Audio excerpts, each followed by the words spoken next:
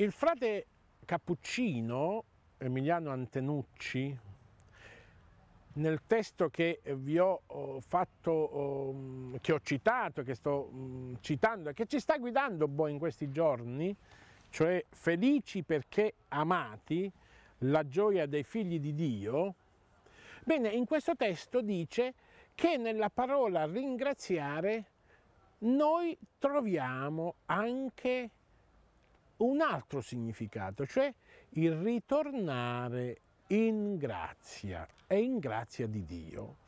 E non ha torto fra Emiliano, perché ringraziare vuol dire appunto anche tornare in grazia. Cos'è un cuore che è capace di amare?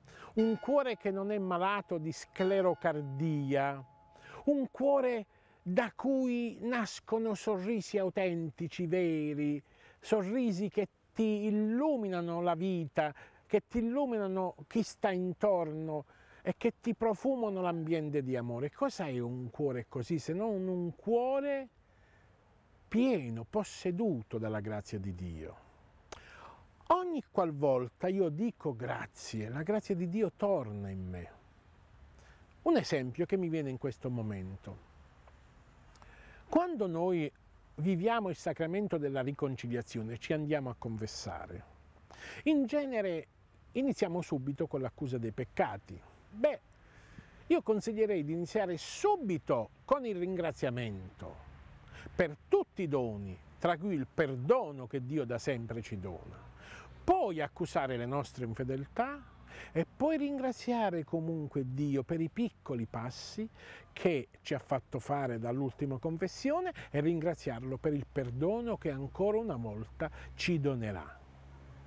Bene, noi in quel momento, dopo aver detto Signore ti ringrazio per tutti i doni e perdona le mie infedeltà, noi riceviamo e torniamo alla grazia e questo tornare alla grazia ci fa tornare alle origini, alla fonte, e questa fonte è Cristo, che è la fonte dell'amore. E quando io torno alla fonte, quando io torno alle origini, il mio cuore esulta, perché lì risento, ritocco, rivivo ciò che sono e ciò per cui io sono stato messo al mondo. Sono un dono di Dio e sono questo dono perché io diventi dono per gli altri, perché io diventi testimonianza di gratitudine per gli altri. Cioè la nostra preghiera, no, la nostra lode a Dio deve non solo procurare in noi la gratitudine, ma creare stimolare, far emergere semmai cuori chiusi, indolenziti, pigri, dovrebbe far emergere in questi cuori la gratitudine, il dire grazie a Dio. Che bella missione abbiamo, che bella responsabilità abbiamo.